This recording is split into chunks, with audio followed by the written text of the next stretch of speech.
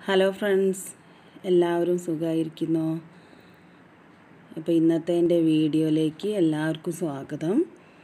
ഇന്ന് മഞ്ഞൾ കൃഷി വിളവെടുത്തതിന്റെ അത് പുഴുങ്ങുന്നതും നന്നാക്കുന്നതും ഒക്കെ ആയിട്ടുള്ള കുറച്ച് വിശേഷങ്ങളും ഒക്കെ ആയിട്ടാണ് വന്നിരിക്കുന്നത്. ഉച്ചയ്ക്ക് ശേഷമുള്ള കുറച്ച് കാര്യങ്ങളൊക്കെയാണ് ഇന്നത്തെ വീഡിയോയിൽ ഉൾപ്പെടുത്തിയിരിക്കുന്നത്. അപ്പോൾ എന്റെ വീഡിയോ ഇഷ്ടപ്പെട്ടാൽ എല്ലാവരും ലൈക്ക് ചെയ്യുക ഷെയർ ചെയ്യുക സബ്സ്ക്രൈബ് ചെയ്യുക. പിന്നെ നിങ്ങളുടെ അഭിപ്രായങ്ങളൊക്കെ കമന്റായിട്ട് അറിയിക്കുക കേട്ടോ. അപ്പോൾ ഇപ്പം ഞങ്ങൾ താമസിക്കുന്ന വീടിന്റെ ചുറ്റുവട്ടത്ത് എല്ലാവരും ഈ മഞ്ഞൾ കൃഷിയൊക്കെ മഞ്ഞൾ കൃഷിയൊന്നും ചെയ്യാത്ത ഒരു വീട്ടുകാരും ഇല്ല ഈ ഭാഗത്തൊന്നും. കുറച്ചെങ്കിലും മഞ്ഞൾ കൃഷി ചെയ്യുന്നവരാണ് എല്ലാവരും. മഞ്ഞൾ കൃഷി മാത്രമല്ല അല്ലാത്ത ഒരുപാട് കൃഷികളൊക്കെ എല്ലാവരും ചെയ്യുന്നുണ്ട്. അവനവന് സ്ഥലമില്ലെങ്കിലും മറ്റുള്ളവരുടെ സ്ഥലം അവർ കൃഷി ചെയ്യാനായിട്ട് വിട്ടുകൊടുക്കുന്നതും ഒക്കെ ഉണ്ട്. അപ്പോൾ അങ്ങനെ എല്ലാവരും ഒരുപാട് കൃഷികളൊക്കെ ചെയ്യുന്ന ആൾക്കാരാണ്. അപ്പോൾ ഞങ്ങളിവിടെ താമസമാക്കിയപ്പോൾ അവരൊക്കെ കുറേശ്ശെ വിത്തൊക്കെ തന്നിട്ട് ഞങ്ങളോടും കുഴിച്ചിട്ടോളാൻ പറഞ്ഞിട്ട് അങ്ങനെ ഞങ്ങൾ ഇതിലേക്ക് വന്നത്. അപ്പോൾ ഞങ്ങളിവിടെ താമസമാക്കിയ ആ വർഷം മുതൽ ഞങ്ങളും മഞ്ഞൾ കൃഷി ചെയ്യാറുണ്ട്. മഞ്ഞളിന് ഒരു വലിയ കിഴങ്ങുണ്ടാവും. അതിന്റെ മുകളിൽ നിന്ന് അങ്ങോട്ടേക്കും ഇങ്ങോട്ടേക്കൊക്കെ വിത്ത് പൊട്ടി മുളയ്ക്കുകയാണ് ചെയ്യുക. അപ്പോൾ ഈ വലുതിന് ഞങ്ങളെ നാട്ടിലേക്ക് ഇവിടേക്കൊക്കെ പറയുക മഞ്ഞളിന്റെ തള്ള എന്നാണ് പറയുക.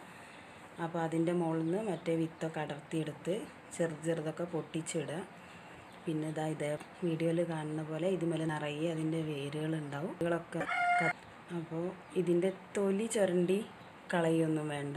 ഇതുകളൊക്കെ ഒഴിവാക്കിയിട്ട് നന്നായിട്ട് കഴുകി വൃത്തിയാക്കിയിട്ട് പുഴുങ്ങിയെടുക്കുകയാണ് ചെയ്യുക.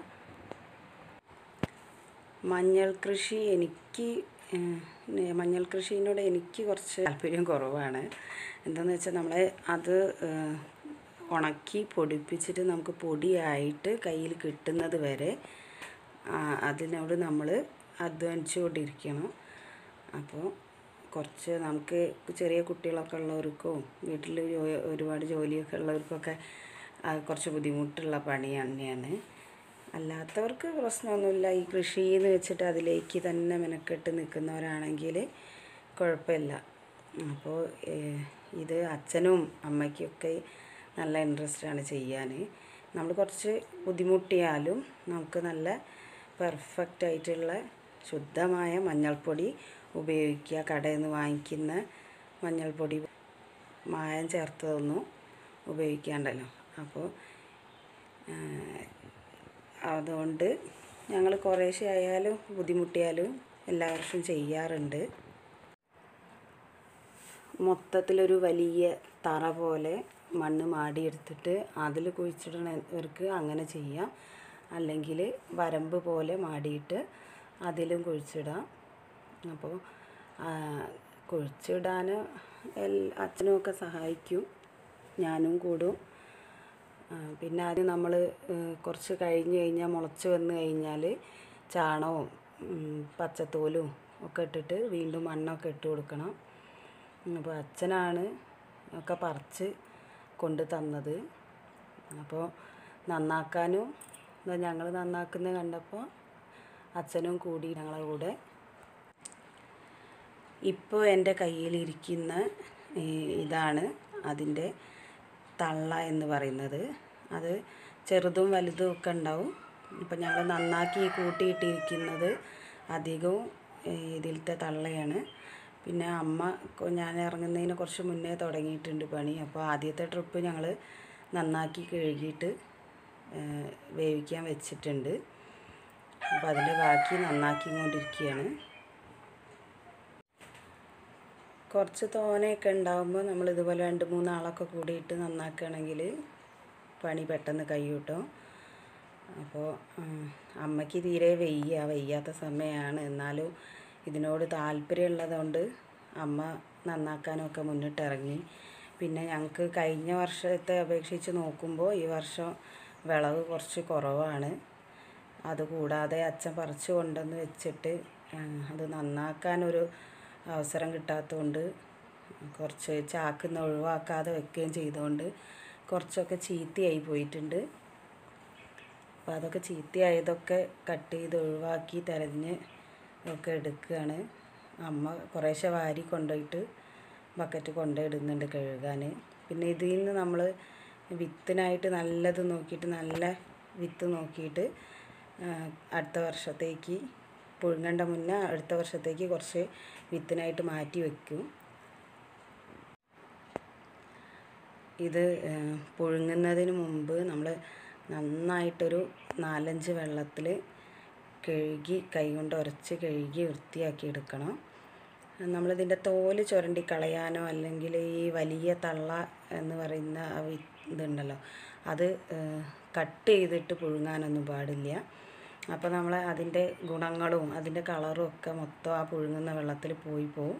അപ്പോൾ നമ്മളിത് പുഴുങ്ങി എടുത്തതിന് ശേഷം വെയിലത്തിട്ട് ഉണക്കുമ്പോഴാണ് നമ്മളത് കട്ട് ചെയ്ത് കൊടുക്കുക വലിയതൊക്കെ.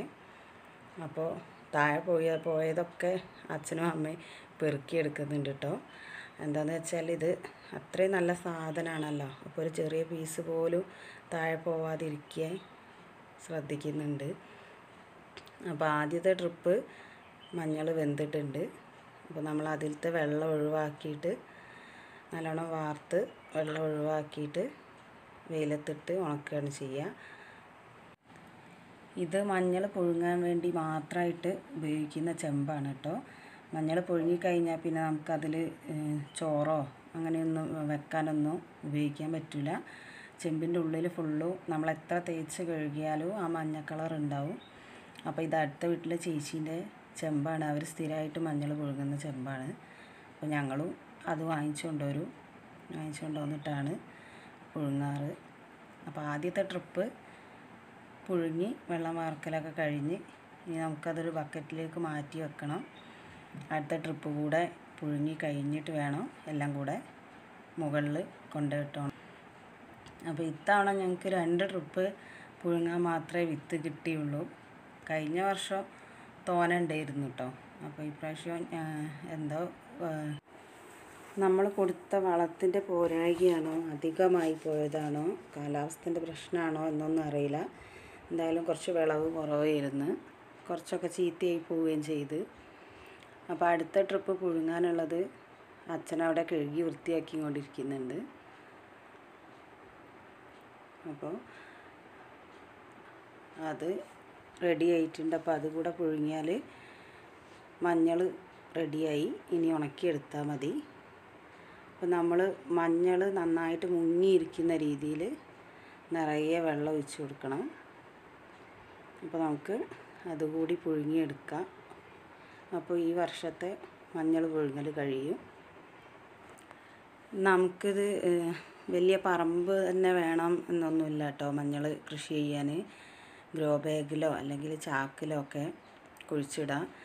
നമ്മുടെ അടുക്കളയിൽ നിന്ന് കിട്ടുന്ന വേസ്റ്റ് ഉണ്ടല്ലോ ഉള്ളിത്തോൽ പച്ചക്കറിയുടെ വേസ്റ്റ് ഇതൊക്കെ ഇട്ട് കൊടുത്താലും മതി. അപ്പോൾ ഞങ്ങൾ ആദ്യം താമസിച്ചിരുന്ന വീട്ടിൽ ഞങ്ങൾ അങ്ങനെ ഗ്രോ ബാഗിൽ ഒന്ന് രണ്ട് ഗ്രോ ബാഗിൽ ഉണ്ടാക്കിയിട്ട് നന്നായിട്ട് വിത്ത് കിട്ടിയിട്ടുണ്ടായിരുന്നു. അപ്പം ഞങ്ങളുടെ അവിടെ ഉത്സവത്തിന് താലെടുക്കുമ്പോൾ പച്ചമഞ്ഞൾ എടുക്കും.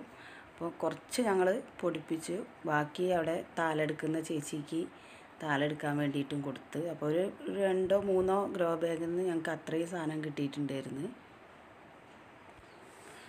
മഞ്ഞൾപ്പണി കഴിഞ്ഞപ്പോഴേക്കും അമ്മ നന്നായിട്ട് ക്ഷീണിച്ചിട്ടുണ്ട്. അമ്മയ്ക്ക് ഒരു ഊരവേദനയൊക്കെ വന്നിട്ടുണ്ടായിരുന്നു. അത് കാരണം വല്ലാണ്ട് കുമ്പിട്ട് നൂർന്നും പണിയെടുക്കാനോ ഒരുപാട് ടൈം ഇരുന്ന് ചെയ്യാനൊന്നും കഴിയില്ല. പക്ഷേങ്കിൽ എത്രയെങ്കിലും അമ്മയ്ക്ക് ഈ മഞ്ഞൾപ്പണിയൊക്കെ എടുക്കാൻ ഇഷ്ടമാണ്. അടുത്ത വർഷം ചെയ്യണ്ടെന്ന് പറഞ്ഞാലും അമ്മ വിത്തെടുത്ത് വെക്കും. നല്ല പൊടി കിട്ടുമല്ലോ നമുക്ക് ഉപയോഗിക്കാനെന്ന് പറഞ്ഞിട്ട്. അപ്പോൾ നമ്മുടെ നന്നാക്കലൊക്കെ കഴിഞ്ഞ് ആ താലക്കൊലായ ഒക്കെ തൊടിച്ച് വൃത്തിയാക്കി എടുക്കുകയാണ്. അവിടെയൊക്കെ നന്നായിട്ട് മണ്ണുണ്ടായിരുന്നു. ആ ചാക്ക് വിരിച്ചിട്ടാണ് വൃത്തിയാക്കിയതെങ്കിലും മഞ്ഞളിൽ നന്നായിട്ട് മണ്ണുണ്ടാവും. അപ്പോൾ അതൊക്കെ ആയതൊക്കെ തുടച്ച് വൃത്തിയാക്കുകയാണ് അപ്പോൾ ആ മഞ്ഞളിലെ പൊ മണ്ണൊക്കെ നന്നായിട്ട് പോകാൻ വേണ്ടിയിട്ടാണ് നമ്മളൊരു മൂന്നാൽ പ്രാവശ്യം നന്നായിട്ട് അത് കഴുകിയെടുക്കുന്നത്. അപ്പോൾ ഈ ക്ലീനിങ്ങിന്റെ പണി കൂടി കഴിഞ്ഞിട്ട് വേണം എന്റെ കോഴികളെയൊക്കെ പിടിച്ചിട്ട് മൂടാൻ. അവറ്റകളെയൊക്കെ തുറന്ന് വിട്ടിട്ടുണ്ട്. അപ്പോൾ അധിക ടൈം ഇങ്ങനെ തുറന്ന് വിട്ട് നടത്തിയാൽ നാഴയൊക്കെ കൊണ്ടുപോകും ഇവിടെ കുറുക്കനോ നായയും. കോക്കാമ്പൂച്ചയും എല്ലാം ഉണ്ട്. ഒഴിഞ്ഞ സ്ഥലങ്ങൾ ഒരുപാടുള്ളത് കൊണ്ട് അങ്ങനെയുള്ള സാധനങ്ങളൊക്കെ ഉണ്ട് ഇവിടെ. അപ്പോൾ ഒരുപാട് നേരം തുറന്നു വിടാൻ പറ്റില്ല അപ്പോൾ ഇത് ഞങ്ങളുടെ വീട്ടിലെ പൂച്ചയാണ് കേട്ടോ. ഇതിന്റെ പേര് പാറു എന്നാണ്. എന്റെ രണ്ടാമത്തെ മോന് ഇങ്ങനെ പക്ഷീനെയും മൃഗങ്ങളെയൊക്കെ ഭയങ്കര ഇഷ്ടമാണ് വളർത്താനൊക്കെ. അപ്പോൾ ആ പൂച്ചയ്ക്ക് ഞങ്ങൾ പാറു എന്നാണ് പേരിട്ടത്. അപ്പോൾ അതിലൊരു വിറ്റമുണ്ട്. അത് പൂച്ച ആണാണ്. അപ്പോൾ ചെറുപ്പത്തിൽ ആണാണോ പെണ്ണാണോ എന്നറിയാതെ അവനിട്ടതാണ് പാറു എന്ന് പേര്. പൂച്ച കുറച്ച് വലുതായപ്പോഴാണ് ഞങ്ങൾ അറിയുന്നത് ആണാണ് പെണ്ണല്ലാന്ന്. പിന്നെ ഇനിയിപ്പോൾ പേര് മാറ്റാനൊന്നും നിന്നില്ല ഞാൻ പറഞ്ഞു അവനെ പാറാന്ന് വിളിച്ചോ.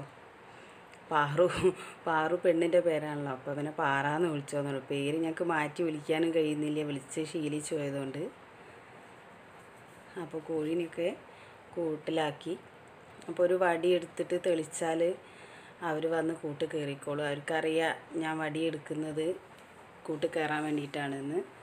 അപ്പോൾ എല്ലാവരും ചോദിക്കും നാടൻ കോഴിക്കൾ ഇങ്ങനെ നമ്മൾ കയറുന്ന് പറഞ്ഞിട്ട് തെളിക്കുമ്പോൾ കൂട്ട് കയറുമോ അല്ലാത്ത ഗിരിരാജ കോഴിയൊക്കെ അല്ലേ അങ്ങനെ കയറുകയെന്ന് അപ്പോൾ നമ്മൾ ശീലിപ്പിച്ചാൽ അവർ അതേപോലെ ചെയ്യും കേട്ടോ.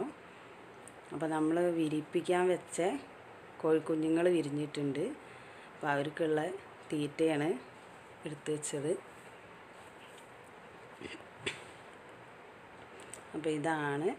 അന്ന് മുറിപ്പിക്കാൻ ഞാൻ മറ്റൊരു വീഡിയോയിൽ കാണിച്ചിട്ടുണ്ട്. കോഴിനെ വിരിപ്പിക്കാൻ വെക്കുന്നത്.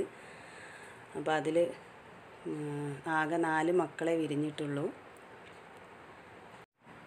നമ്മൾ നല്ല മുട്ടകൾ നോക്കി വെച്ചാലോ ഈ സന്ധ്യ സമയത്ത് വെക്കണം കോഴീനെ മുറിപ്പിക്കാൻ എന്നൊക്കെ പറയും. അതൊക്കെ നോക്കി വെച്ചാൽ എങ്ങനെ വെച്ചാലും വിരിയാനുള്ളവരെ വിരിയുള്ളൂ. അല്ലാത്തതൊന്നും വിരിയൂല. അതിൽ നിന്നൊരു കാര്യം മനസ്സിലാക്കാൻ പറ്റുന്നതാണ്. ഞാൻ സന്ധ്യ സമയത്താണ് മുറിപ്പിക്കാൻ വെച്ചത്. പിന്നെ നല്ല ഉരുണ്ട മുട്ട നോക്കിയിട്ട് വെച്ചു. ഒക്കെ ചെയ്തു. അങ്ങനെയൊക്കെ അതിന്റെ രീതിയിലൊക്കെ ചെയ്തതാണ്. ഇപ്പോൾ കുറേ നാളായിട്ട് ഞാൻ എപ്പം കോഴീനെ മുറിപ്പിച്ചാൽ നാല് മക്കൾ അല്ലെങ്കിൽ അഞ്ചെണ്ണം അങ്ങനെയൊക്കെ കിട്ടാറുള്ളൂ. അപ്പോൾ ഇവർക്ക് നാലാൾക്കാണ് ഭൂമി കാണാനുള്ള യോഗം ഉണ്ടായത്.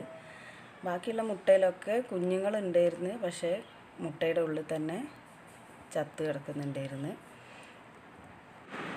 പുറത്തത്തെ ഈ പണിയൊക്കെ കഴിഞ്ഞ് വരുമ്പോഴേക്കും അമ്മ അവിയലുണ്ടാക്കുന്ന പരിപാടിയിലാണ്. അപ്പോൾ ഇതിൽ ക്യാരറ്റ് ചേന പച്ചക്കായ പയറ് മുരിങ്ങക്കായ ചേർക്കും. അപ്പോൾ ഞാൻ മുരിങ്ങക്കായ ഇല്ലാത്തതുകൊണ്ട് അത് ചേർത്തിട്ടില്ല. കഷ്ണങ്ങളെല്ലാം കൂടെ മഞ്ഞളും കുറച്ച് മുളക് പൊടിയും ഉപ്പും ചേർത്തിട്ട് നന്നായിട്ട് വേവിച്ചെടുക്കും. പിന്നെ തേങ്ങ ഒതുക്കിയിടും. തേങ്ങയും ജീരകവും. തൈര് ഒഴിച്ചിട്ടാണ് ഞങ്ങൾ തേങ്ങ അടിച്ചെടുക്കുന്നത്.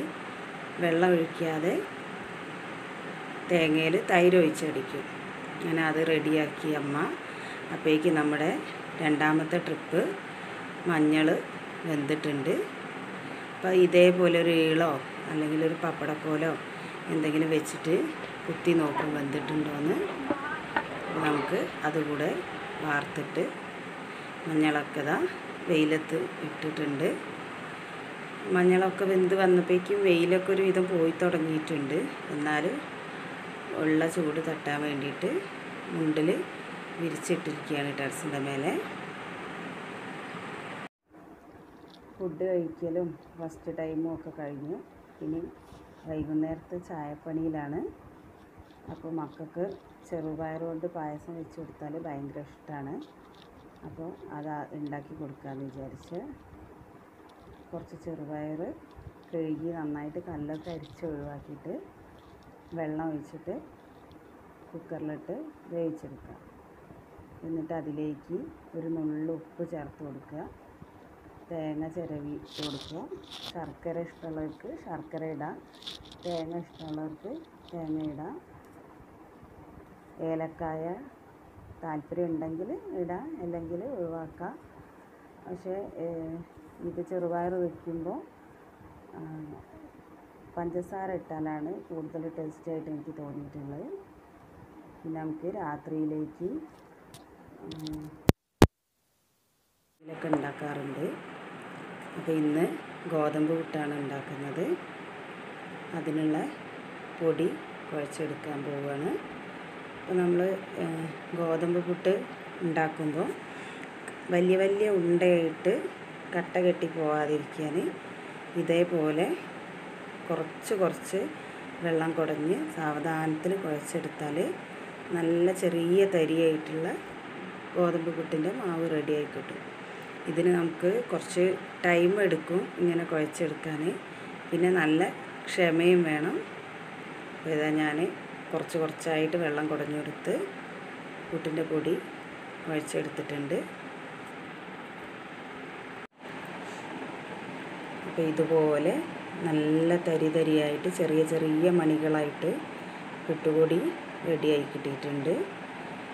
ഇതിന് കാര്യമായിട്ട് വേണ്ടത് നമുക്ക് കുറച്ച് ടൈമും വേണം ക്ഷമയും നേരെ ഇല്ലാത്ത നേരത്തൊന്നും കുഴച്ചെടുത്താൽ ശരിയാവില്ല. അപ്പോൾ അതാ നമ്മുടെ കണ്ണപ്പൻ മേൽ കഴുകാനൊക്കെ റെഡി ആയിട്ടുണ്ട് വലിയ ആളെ പോലെ മുണ്ടൊക്കെ കൊടുത്തിട്ട് ഇറങ്ങിയിരിക്കുകയാണ് മേൽ കഴുകാൻ.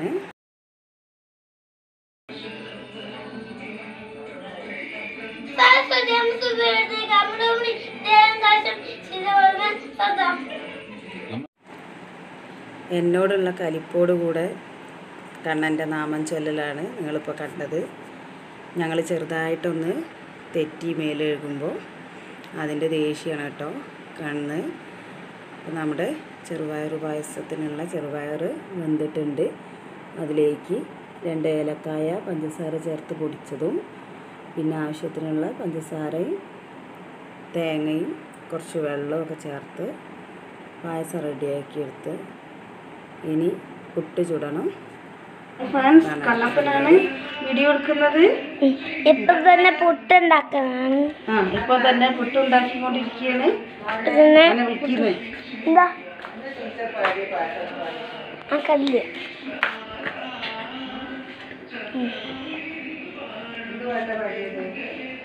അമ്മ. എന്ത് പുട്ടാ ഉണ്ടാക്കുന്നത് ഏ?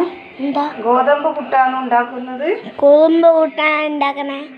ഗോതമ്പ് പൊട്ടിച്ച എന്താ? ഗോതമ്പ് പൊട്ടിച്ച എന്താ? എന്താ? എന്താ? എന്താ? ഗോതമ്പ് പൊട്ട്? ഗോതമ്പ് പൊട്ട്.